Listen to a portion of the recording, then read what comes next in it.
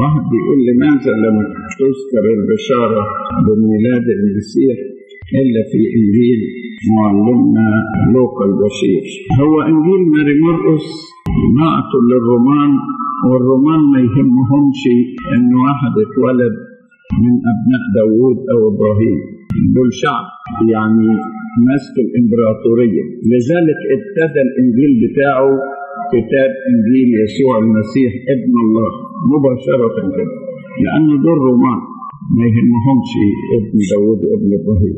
يوحنا الحبيب في إنجيله كانت قصة الميلاد والبشارة كل دي كانت معروفة في الدنيا كلها أن كتب إنجيله تقريبا بعد سنة 90 ميلادية.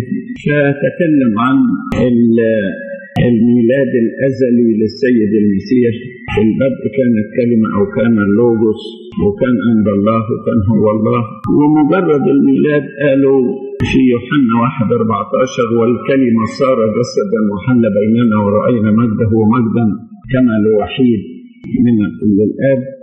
مجرد إشارة بسيطة لكن البشارة ما قالهاش في إنجيل معلمنا متى قال إن الملاك كلم يوسف النجار في حلم وقال له لا تخف أن تأخذ مريم امرأتك أو خطيبتك إليه لأن الذي حبل به فيها هو من الروح القدس. يعني قبل الميلاد مش ضروري إن كل الإنجيليين يقولوا كل حاجة.